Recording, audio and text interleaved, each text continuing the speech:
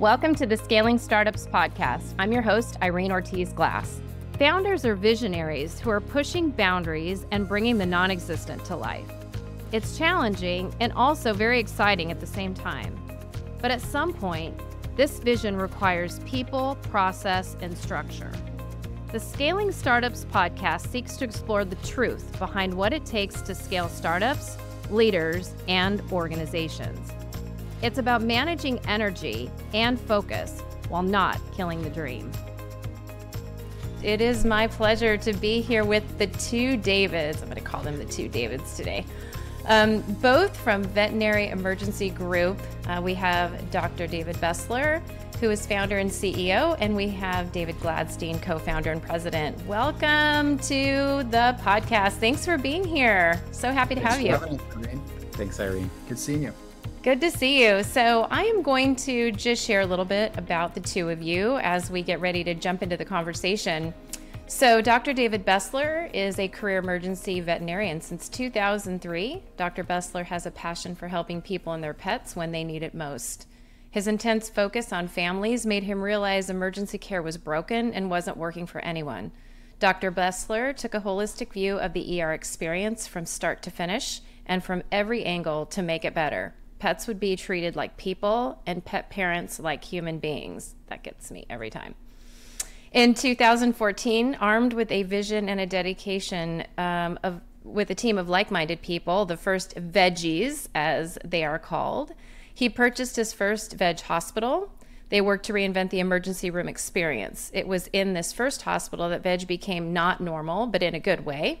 This new experience was fully transparent with an open floor plan. They created a comfortable setting for pets, even if that meant getting on the floor with them and keeping people and their pets together throughout treatment. Dr. Bessler also defined a positive company culture to make sure VEG would deliver on this revolutionary shift. It was exactly what pet parents and emergency vet professionals wanted, as VEG has the highest NPS score in vet industry, which is wonderful. Um, and let me just share with you David Glattstein's background.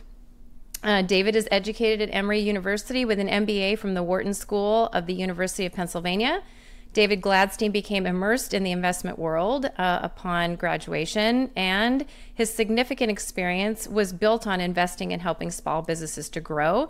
And it led him to join forces with David Bessler in building the world's veterinary emergency company. From his research and experience, David recognized the veterinary industry lacked innovation and entrepreneurship. He believed a successful and reimagined veterinary business model required being fully invested in its customers and staff. This meant a full revamp of the customer experience, as well as the need to foster a robust team culture.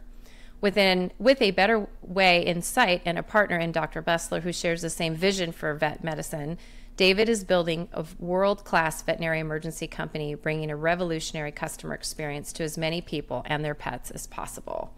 So, what a story. Um, both of you have such different backgrounds, yet, what I love about you is there's a symbiotic relationship between the two of you.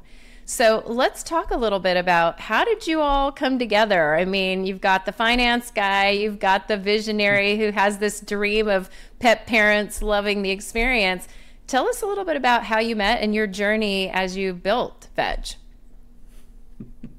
I think the way the way that we met really starts with David. So I'll have him I'll have him tell the story from his perspective. Um, I guess that one fateful night or day. Yeah, yeah. So I think that we we always kind of believe that these things happen for a reason, and um, you know, I was looking to do something entrepreneurial.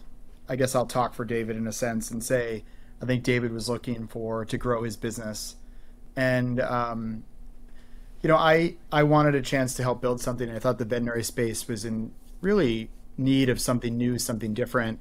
The humanization of pets is very much a, real thing, and I think David identified the need for better care for given customers' desire for a better experience, and so that combo kind of allowed us to both be ready to meet. And I think then I was looking for some something in someone to partner with, and I typed in veterinarian near me in Google.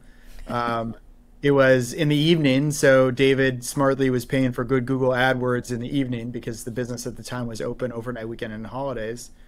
And uh, David came up first, and uh, it said veterinary emergency group. And I knew I wanted to do something in veterinary space because, as you said, and um, you gave a really good bio of me, Irene. So, as you said in the bio, is I knew there was something to do there. I wrote to David and I said, "Hey, you know a lot about the vet space. You have these two great hospitals in White Plains and Rockland. I read the Google reviews and see how your customers love it. Um, if you're ever interested in growth, I'd love to chat." And uh, knowing David um, and how curious he is um, and how eager he was to build uh, something bigger than just himself, uh, he wrote me back and he said, "Yeah, let's meet."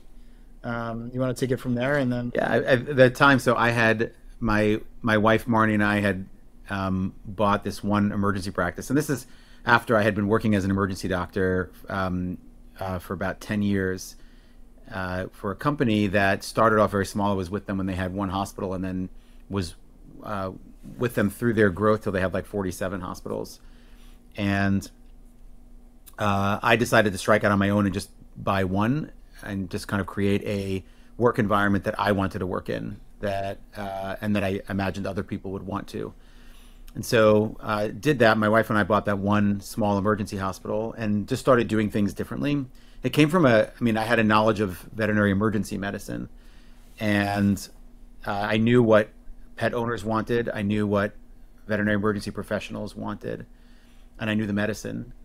And I really didn't know much about running a small business. That I had to learned myself on the way. I, I just uh, I remember when I bought the practice, they just they they gave me all the you know the due diligence, um, and I got a P&L, and that's how I learned. I just kind of copied it into um, Google Sheets, and that's how I learned to read a P&L.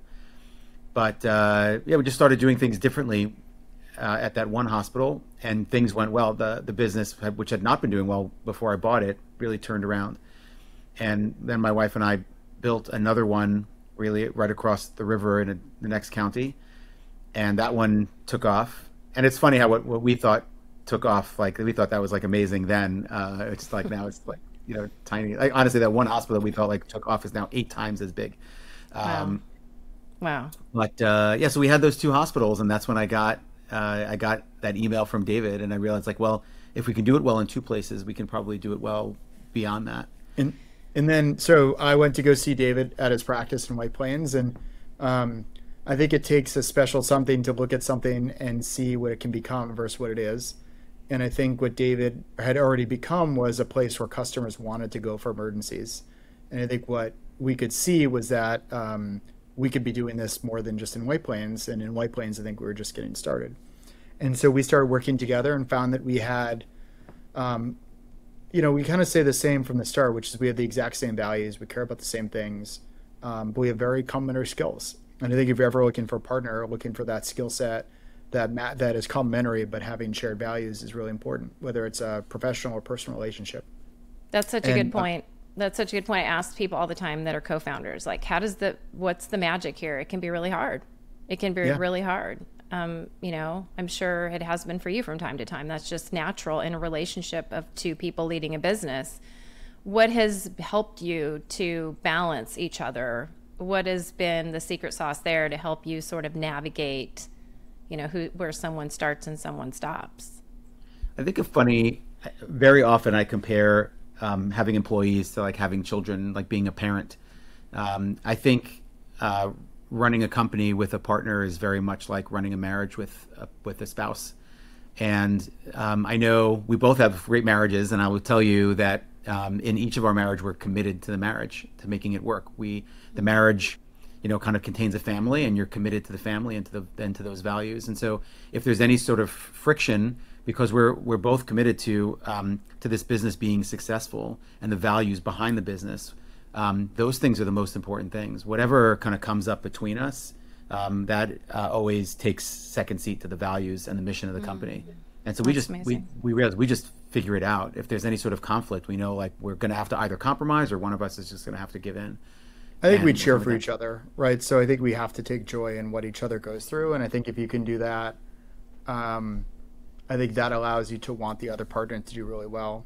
And I think we also aligned ourselves from the start, which is you know the reality is like we started a business the business's goal is to provide a great service to its customers and its uh, employees but also to make money and i think when um, david and i you know, created a structure where we both would succeed if Veg succeeded. And I think that is um, maybe not always perfectly equal, but really close. And I think that allows us to, um, you know, I think that allows us to really be on the same page in that sense. You know, from a business perspective, we learned we needed to align our customers, our veggies, and our furry veterinarians. And I think we also learned, hey, if that's if that's what they, if that's our business plan is to align our our most important stakeholders, then we need to align ourselves too. So we also aligned ourselves in that sense. So we got really good advice in the beginning, which is good fences make good neighbors. And mm. I think that we have um, uh, hat, chair, hat, hat tip to Keith Johnson for that one from Sequoia. But uh, I think that David and I found that we did split up our roles actually in the beginning. We don't do the same things. And I think that mm-hmm. has been really helpful for us too. And, and if it's not, you know, inappropriate to ask, like, how do you do that, right? Because I'm, I'm just going to say many of our listeners are sitting on the other end of listening to this trying to figure out how to do that. And I do believe, having worked with you um, over the last year, that there is a very strong degree of alignment between your gifts, values, and strengths, and how you've split the roles. I mean, I'm, it's very clear to me that you're in your lane of energy when you are doing your, what you do. I think uh, it's the complementary skill set. I think that uh, David and I both care about everything. Um, we care about every aspect of the business. Um, but when it comes to, we just naturally divide up the things that we want to spend our time doing and think that we're like the best. If there's something, for example, building out a headquarters is, um, you know, a, a, a, corporate team is something that not only um, do I, I've never seen it done, so I don't even know what good looks like, let alone have I ever like, you know, done it myself whereas David had done both. And um, because of that, when it came time, like when it comes time to uh, source people, um, David's just like amazing at sourcing people for our headquarters team. Um, figuring out the org structure. That's just that's where David's expertise is. I care and I weigh in, um, but you know, David's the one who just kind of you know who runs that. When it comes to things about veterinary medicine and you know what uh, customer experience, um, what veterinary professionals want, that kind of thing. That's that's the world that I lived in, and um, David cares a whole lot about that. Um, but that's what I naturally naturally fall into. So we really didn't actively divide up the the workload. We really, um, I think, we both sort of naturally fell into what we do best. But both of us cared a ton about about everything. And I think we also both work really hard. I know we work in different things, like we definitely more so over the years, quite honestly, on different things. But um, but I think a good partner knows that the other partner has your back and is willing to work hard too. And I think the reason, I think that I get, I'll speak for myself. I think that allowed me, knowing that David is working in materially different things than I am often, um, and certainly I would say more things that are. Um, uh, less tangible, right? Like um, related to culture and related to experience that aren't, you know, you can't just yep. produce something and show off. Um, but I know David's always thinking through that and was thinking about and trying to be better. And I think that, um, I think you know, they're always. I think founder relationships fall apart um, when the other person, when there's unequal effort and unequal appreciation. Mm-hmm. And I think we have equal effort and equal appreciation and by the way, that doesn't always have to be the same time, right? Sometimes I might be going hard on David. Sometimes David's going harder than me. There's no like, uh, yeah. I just mean over time, it's it's all it's it's all fair, and I think there's That's a fairness great. there. Well, and let's talk about the success you've had. Can we just do that for a second because it's pretty phenomenal. Um, what's what's been going on with growth? Let's talk about that because we're here to talk about scaling. So it's like, how did in the heck did you make this happen? I, um, I'll if I, I, I go back to um, uh, the first weeks of COVID. Uh, we had um, we started uh, when COVID first started. Uh, there was a dip in in visits, I would say, uh, and we had about ten hospitals open for reference, and today we have ninety essentially. So. Yeah, and everybody was kind of thinking like, well, the world is ending, um, and veterinary medicine, like, it's just how are we going to survive this like drop in our in our caseload, et cetera and then uh, all of a sudden one you know one week there was like a, it was like a, a, business was up a little bit over the week before and we're like huh you know a little that's interesting and then the next week it was up even more and then you know everybody got puppies uh, and uh, COVID just ended up um, really helping the, the veterinary world in terms of uh, business um, caseload, we'll say. And but I remember that we meant we started making this mountain chart um, where you know just of like the number of cases, and um, you know you know dipped it first, was a little bit of a thing, and then it, like it went up. And what's funny is that uh, if you if when I look at that you know now and you fill your screen with it, it like you know it's like wow this like thing. And then and then as you scroll to the right it just keeps getting like higher and higher and like doesn't and we weren't aware of this scale. So it's like at the foot of the mountain um, you know back in 2020 uh, and we didn't realize we were like you know kind of standing on the uh, on the the foothills of like Mount Everest. It's like amazing at like how much you know how much greater it went from then. So just our business has grown from you know just a, a few hundred employees to the 5,000 employees that it has today, and we're seeing like a, I guess a run rate of like a million cases a year. I think the biggest thing though is we learned that if we build it, they will come. And very early on, that like ER professionals, nurses, doctors, assistants, we're looking for something different. And I think from the outside, I'm able to see that maybe a little easier than David because he's in it um, as a professional in the ER space. And I, I think that we've added, you know, 4,800 or 4,980 employees from the time that David and I have met. Um, and I think we've also changed, you know, tens of thousands of careers because I bring that up because, you know, we're the largest employer now on veterinary campuses. And we've created opportunities and growth for nursing that were definitely not there before. And I think our push also pushed the industry in a better way, meaning the things that we were doing didn't just help Veg, I think they helped the entire profession. Yeah. And I think that's by taking a blank sheet of paper and saying, okay, how do we actually do this better? David started the customer experience journey by just reimagining it. And I think, I think we are, we always say like, there's a lot of businesses like Veg, right, that are really good looking, that have really good marketing, that have really good A plus locations and I think the difference between them and us is often that they have nailed or done a really good job, at least, on figuring out most of the customer experience, right? I think where they have not done as well as Veg, um, and this is not to pat ourselves on the back, but this is deliberate, is I don't think they've nailed the employee experience. And I think the employee experience is what uh, is the most scalable thing we have. Um, and I think the employee experience is the biggest differentiator for us. And I think it's the hmm. thing that we actually think about much more than the customer experience, even. Because if we nail the employee experience, the employees will then nail the customer experience. Um, and, um, you know, I think that's been the spe- secret sauce is that David and I love people. Like, people is, we're a people business that happens to be in the emergency vet world. Yeah. And um, I think because of that, we've been able to both be in the same page um, like I'm not pushing David on P&L and he's not pushing me on culture. We both believe in it. That's um, great. Amazing. And I think that alignment and that value that you have around the employee experience transcends all of these locations. So the question now is at what point, right? You know, you have these two hospitals, and you have four, and you have 10, now you have 90 at what point do you realize we need to like infuse a little structure here? Maybe different expertise or you know functional experience at headquarters. Like when did you notice like at what point did you feel that or notice that? And how did you tackle it? Let me go? Uh, yeah. Yeah. Sure. so i think uh, first dinner david and i had was with marnie his wife and me and his uh, lovely accountant. And we um, I asked David and his wife what they wanted to do when they grow up. Meaning, what do you want the business to be? Do you want it to be an empire? do you want to have one or two? And then, and um, David wanted to create an empire, and so did I.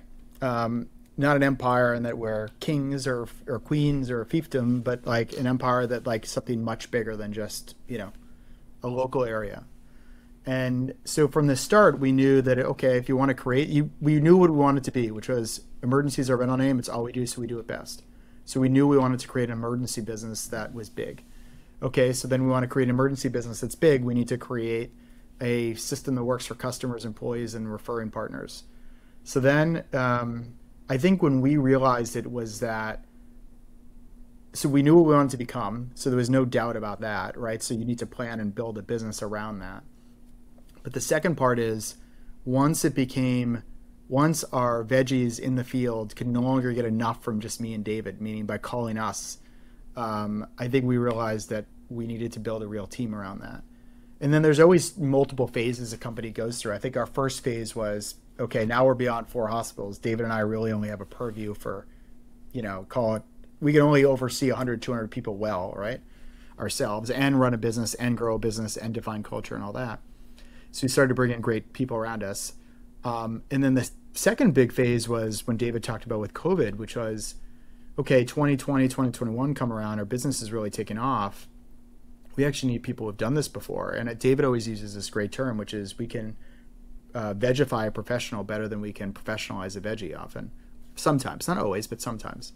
And so um, we just needed to bring a mix of some people that have done it before, you know, so people that have done operations well before, done finance well before, done um, culture well before, done clinical training, done marketing well, and team that with our OG veggies.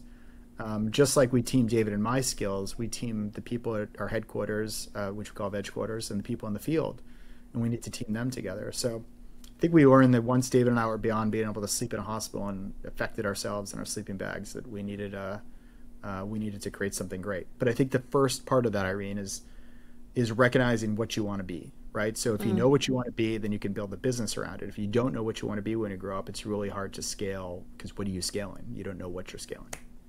In a very so in a very good. big picture kind of way, I think when we when David and I started, we were we had the humility that we we met people that had a tremendous amount of experience and wisdom, and they gave us a lot of advice. And I think unlike a lot of founders who want to do it themselves, do it their way. We listened to those people. And I would say we listened to the vast majority of what they had to tell us. Um, but we picked some things that were very, very important. That's where we decided to not listen to them. And what were those? Would you share one? That sounds fascinating. Oh, yeah. I mean, I think, uh, look, the people you're talking about structure, right? And so um, people who know how to, um, even if like like let's say manage the finances of a you know of a billion dollar business versus a you know uh, twenty million dollar business, uh, they have expertise in that, and I'm going to listen to them uh, when when when they talk about that. When they talk about you know managing thousands of people versus dozens of people. Uh, but I, I look around at the companies that are out there and I'm like, well, they actually don't know anything about culture.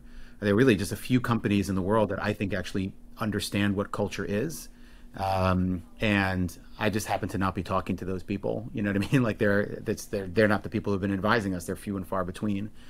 And so there it was like we're actually going to read our own books, listen to our own podcasts, try to get as much as we can from those people, and then do that our way. Um, I look at emergency medicine, for example, and I see like the, the veterinary world um, uh, kind of idolizes the human medical world in so many ways and some in some ways that's deserved. They certainly like you know see more cases etc than you know than we do. Um, but in some ways the human medicine world has like a ton to learn from the veterinary world. And i yeah. would say there's really nobody that understands veterinary emergency medicine. It is not like human emergency medicine in so many ways and it is not like the rest of veterinary medicine in some ways. Mm. and i felt through my experience like i knew more about that and so i'm going to listen to myself um, yeah. and not listen to them I think people always said like you should do urgent care, you should do general practice, you should do specialty care within your hospital. Um, and I think we've always, uh, I think that's something we didn't listen to. That wasn't necessarily people that were so close to us, but just people around us, which is always like easy to add things. And I think that we've really tried to keep it simple and focused. Doesn't mean in the future we wouldn't do things, but like, because never say never to anything. But I think certainly when we were growing up and teenagers, we should not have done that. Um, and we, we didn't. And so, how often do you revisit the question, um, who do we want to be? Do you revisit that conversation? Who do we want to be? I have to say that's kind of stayed the same. Uh, we we okay. basically came up with we want to be the world's veteran emergency company. The way that we say it is like uh, if um, I want to pick the right number of years, let's say uh, 30 years ago, aliens landed on the planet and stopped an Earthling and said, "What is this planet's coffee shop company?" Uh, the Earthling wouldn't have had an answer. Um, now whether you like their coffee or not, the answer is Starbucks is this planet's coffee shop company. Uh, I don't. I think if you if aliens landed and said, "What is this planet's veterinary emergency company?" I don't think there would be an answer. But Veg is becoming that answer. That's that that was our aim. There's really nobody out there that's just focused on veterinary emergency medicine and doing it great. That's that's our opening, like for world domination. That's what we want to do. And we've been world aligned on domination. I love this. Okay, and going for world domination that is our intergalactic headquarters right here in, in, White Plains, New York. Uh, that's awesome. So, culture. So let's go there because you make a really good point. Like so far, you've mentioned employee experience and culture, which obviously go very hand in hand. And you've talked about consistency, customer experience, high NPS scores, all done in a consistent way in many locations. That's really hard to do.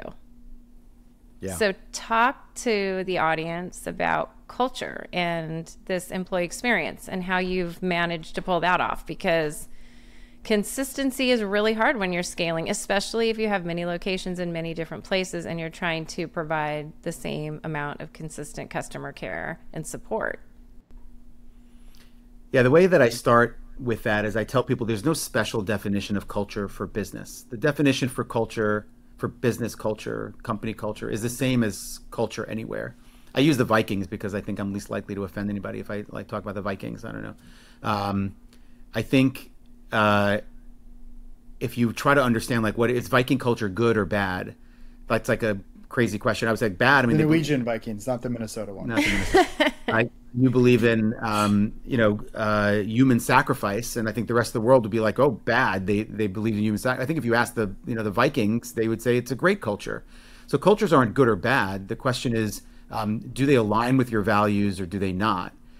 And what are the what are the uh, the details of that culture that I, I a good way to understand culture is its values operationalized. There are the values that core values that lie, um, you know, at the at the center of a culture, and then all of the actions, all of the things that the culture do, that the culture does. That's that that is that is what a culture is. It's like, uh, do they align with the values? Or they not? And uh, I think most companies, when you look at it, they don't have a set culture. They can't define their core values. There may be aspirational values. You know, they'll say like timeliness is one of our values and like oh so everybody's always on time and like they're not it's an aspirational value it's not what they actually are in fact they probably value chaos um, or value individual time because then nobody's on time because they're all you know individuals so uh, the first thing is to understand what are your core values and um, Veg's core values and when, when you hear them you'll see they and you know anything about what what makes Veg different uh, you'll see they make sense. Our core values are openness. We have open hospital concepts, um, openness, togetherness. Everybody is together in one room doing their emergencies together.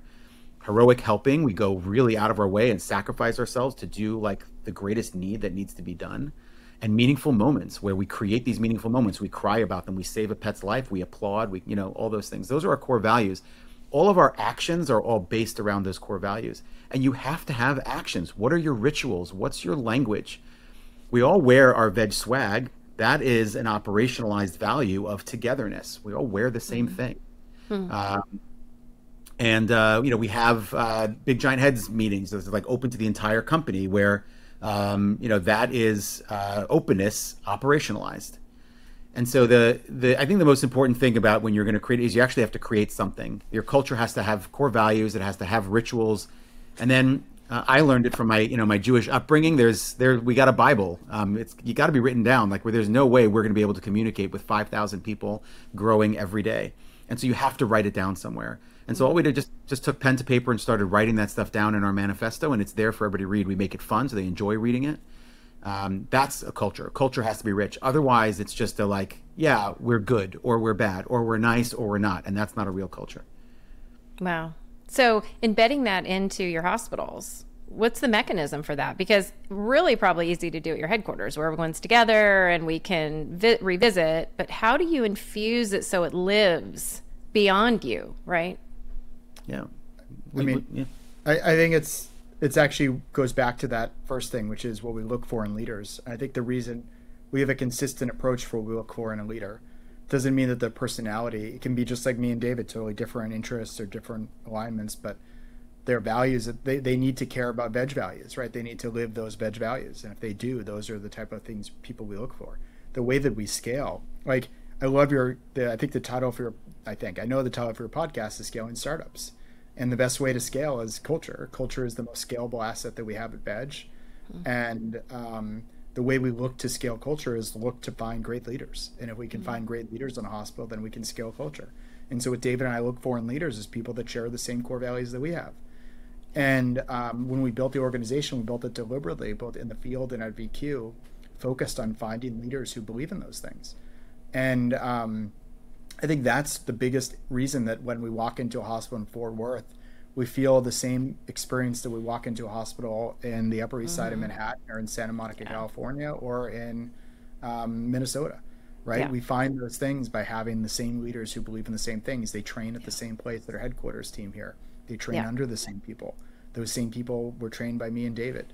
Me and Yeah. David were um, have the same beliefs, and so if you push all that down, that's the leaders are the ones who can just like we need to you know find great veggies and give them a great experience so they give customers a great experience we need to find great leaders who will then give our our veggies a great experience Yeah, and I know you both do a really great job. And this is the difference that I see from other clients that we work with and you is that you talk about the values all the time. You revisit them when you have conversations in your meetings. They're on walls, that's great, but you're actually always bringing them up in the interview process, in the conversations with leadership team meetings. Like it's a really ongoing dialogue. And I don't see that that often with other customers, other clients. They seem to just have them on the wall but to your point, they're not in front of you very often or discussed or revisited. And I think you do a really good job of that.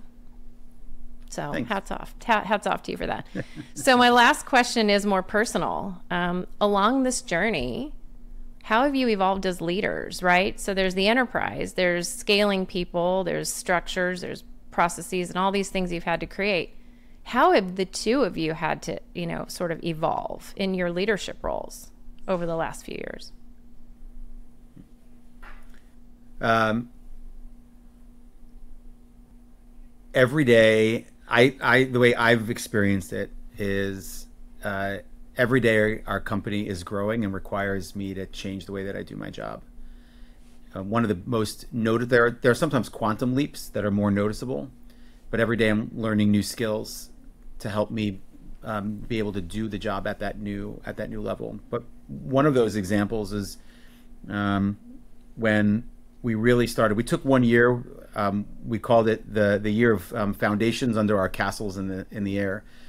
Uh, castles in the air were just like all these great things that we had going on at Veg, but they were not sustainable. Especially they, they weren't scalable, and we had to put foundations under them to allow them to grow. We hired a lot of professionals uh, at Veg Quarters, people like uh, CFO, uh, COO, Chief People Officer, um, and once that happened, you know, we, we looked for great people that had great experience, were very wise. We vegified them. We found professionals. We vegified them. That took a lot of time. David and I spent a lot of time here at Veg Quarters making sure, holding them accountable to the Veg ways. They wouldn't paint us with the same brush that they did the last company they came from, realizing Veg was different. But then once we had them kind of installed, uh, you know, David and I sort of like looked at each other and said, like, well, they can really tend to the to the daily running of the company. Well, you know, what is our job now? And we had to learn. Say uh, we kind of took our airplane to a new, uh, you know, a new altitude, and had to operate from there. Um, David recently shared um, with me um, a video. You can tell a story, but it's about Mark Zuckerberg and his employees call him the Eye of Sauron, where they, if there's something that's important to him, there's nothing about that thing he doesn't know, uh, and doesn't care about, and doesn't stick his, you know, his hands into and so I'm like on a clinical like I just I worked a shift alongside our uh, our veggies our you know doctors yesterday. Um, I'll dive deep down into that and poke around and sort of sample the product and see what's going on our front lines, and then zoom zoom out and look at the whole organization from a clinical perspective. So we're constantly learning new things like that. It's for me that's been the most fun, the most challenges. I have a new job every day uh, as we grow. That's been a lot of fun for me. I think that I um, all that too, right? Um, I think the only things I would add are I used to believe that um, you should treat people the way you want to be treated, that I want to be treated, and I think I've learned that I need to treat people the way they want to be treated. And um, I, you know, we have different roles, right? But I think that I know exactly why I exist in my role every day, which is um, to coach and mentor our execs and our um, VPs and directors here um, to set our goals, uh, figure out what grade looks like within those goals, and hold our leaders accountable to doing them along our along our core values and the things Dave and I believe in, and then keep us on offense, right? So as we get bigger, we need to be a startup still, a startup culture, a startup mentality. So that, that's I focus on those three things, right? And within that, I think coaching and mentoring is, I think that the beginning of my days of Veg, I was the doer, right? I you know did pretty much every job at VQ, um, and um, and I actually think I'm Uh, you know, the concern is you become a leader at a bigger company is like that's what I did great. Um, and I think what I've uh, come to appreciate and like now is my job is different than it was before, which is I have to focus more on coaching and mentoring, not just on doing. And I think um, that's why I brought up I need to treat people the way they want to be treated, which is I think the, the most one of the most important things a leader can do is figure out the people they work with and how best uh, to bring them together and how to get the best out of them for the greater good of the company and the greater good of our customers and our, our veggies. And um, I know that um, my legacy and David's will be like the people that we can um, can we make people better, right? Can we make people better at their jobs? Can we make people better veggies? And how do we do that through coaching and mentoring? And i think that's how our roles have evolved the most which is that is now the most important thing we can do is teaching culture is teaching the things that are important to veg teaching people about a p&l if that's what it takes. But ultimately um, our job is is to give back to veg through coaching and mentoring. And i think that's where we try to spend our time and think about and i think that's what we want to be known for. Yeah i love I love you guys because you have a people first mentality that you believe that if you actually exercise that, pets and families are served. I mean, that's basically what you've said in this podcast. Like, if we treat people well and develop them, coach, mentor them, have them rooted in our values, they will perform, and they have. And it's really rare that people put a stake in the ground on culture, values, and employee engagement as an indicator of future performance. And you did that, and it's paying huge dividends. And you have a lot of very, very happy customers running around out there with their most beloved family member, like my Abby, you know, their pets. And we would do anything for her. I think she's a person. Um, so, thank you both for being here, for your commitment to pets and their families, for your commitment to your employees, because honestly, I've met and been around many of them who love working for you and, you know, we do know that engagement is an emotional connection that we have with the people we work with and the culture of our company. And people worry today a lot about engagement. And they don't worry about it at Veterinary Emergency Group because they are engaged. Um, they are committed and love the culture. So thank you both for being here. It's such a pleasure. And um, I'll see you both soon. Thank you. Thanks, Irene. Thanks, Irene.